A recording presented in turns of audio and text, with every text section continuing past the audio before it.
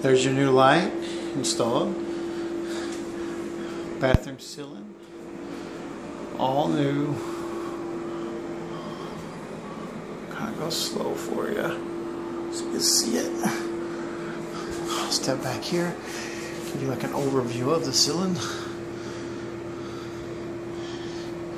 Okay, new shower rod installed as cleaned all the dust and debris off of the shower. Got rid of all the scum that was on that one. That wall there for you. Yeah, it shines now. And uh, we just want to show you something. On your tub, they have burnt where they soldered. They burnt your tub, okay? Just so you know. And for some reason, your kitchen light is hanging down. We don't know if maybe vibrations from above did it or if they did it or nothing. I don't know, but it's in your kitchen and it's just hanging there. I mean, all right.